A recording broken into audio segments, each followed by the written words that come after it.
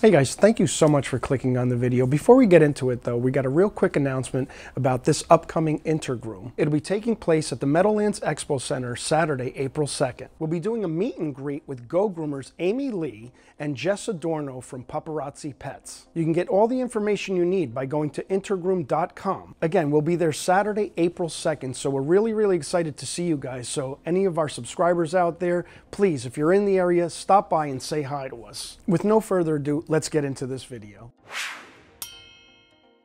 Okay guys, so in this video, we're going to be talking about some of the challenges and difficulties working on our darker coated breeds. In particular, black poodles, they're a huge challenge. We're doing a lot of clipper work on them. So we have Pepsi here on the table with us today.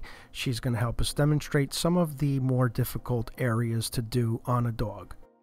So one of the hot spots on a poodle is definitely their face and neck area. You want to be really, really careful in this area, guys, because there's a lot of loose skin. You can see all this loose skin here that's easily, easily caught with a clipper or a scissor. So I'm going to show you how to be very, very cautious so that we're not nicking the dog. One thing you don't want to do is come at the dog straight on. You want to separate that skin, as you could see, and then have that 10 blade or 15 blade be very, very flush and never on an angle that's going to catch or grab a piece of skin.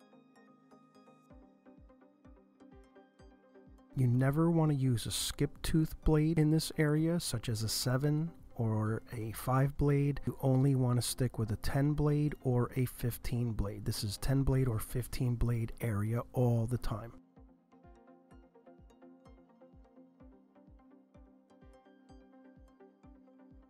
Here you can see that skin from underneath and again I'm just spreading the skin to show you how to create a nice flush clip down the skin. Now we're using a metal snap-on comb. This is an Andis snap-on comb.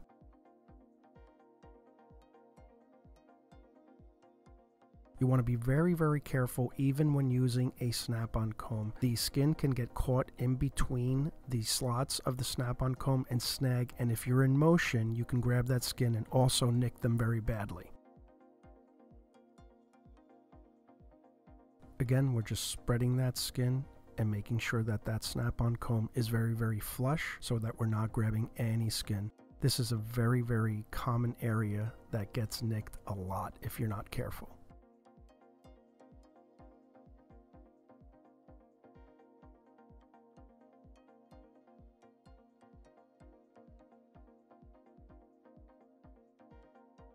So here we are in the armpit area. Again, it's very, very difficult to see what you're cutting or where you're cutting. So you can see the skin here. So you also want to be extremely careful in this area. Again, we're just using a 10 blade on this, guys. No skip tooth blade here. Very, very dangerous. Again, this is just an area where you can easily, easily nick or cut a dog.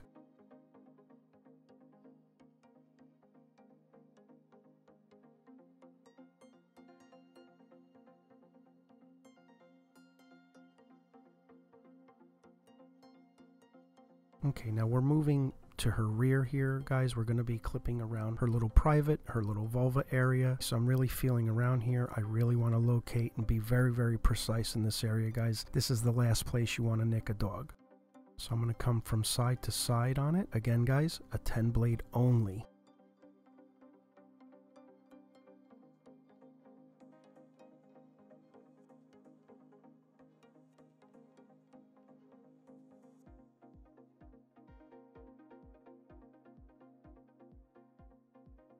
So again, we want to be very, very careful. We want to locate where it is. So we're just kind of spreading and getting a visual on it so that we know where it is. It's so difficult to see on these dark breeds. You literally cannot see much of anything. And you want to follow that scooping motion that I'm showing you with my finger. You just want to do that with the clippers. So we're really just scooping this area out. Okay, so on to the next challenge area. We have this flap of skin right in the tuck up area of the dog. Again, you cannot see it with that black fur just covering it up.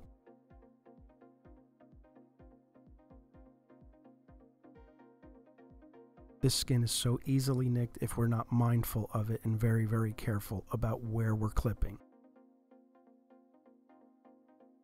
So I'm lifting the leg here and I'm always making sure that my 10 blade is nice and flush. And if you notice, I'm doing it in small strokes so I can kind of get a feeling of where I'm at.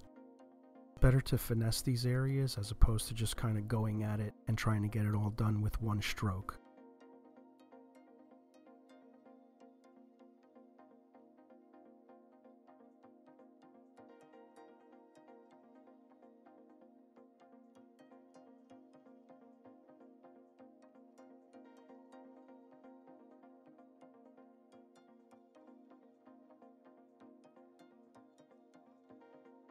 Again, you can see how dark it is underneath this dark coat. You can barely see anything.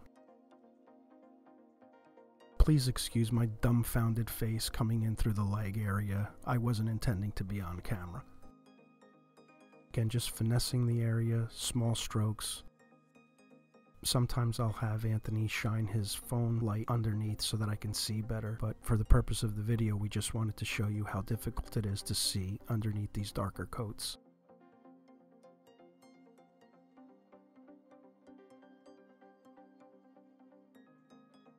Okay guys, so that's going to do it for this video. We really just wanted to show you a couple of the challenges of working on a darker coat. If you take anything away from this video, just be mindful of the blade you're using. You definitely only want to use a 10 blade in these areas. Work cautiously and slowly to avoid any nicking. If you enjoyed this video, click the like button if you want to see more videos like it. Don't forget to subscribe if you're new and hit the notification bell so you don't miss any of our weekly content. Thank you and we'll see you in the next video.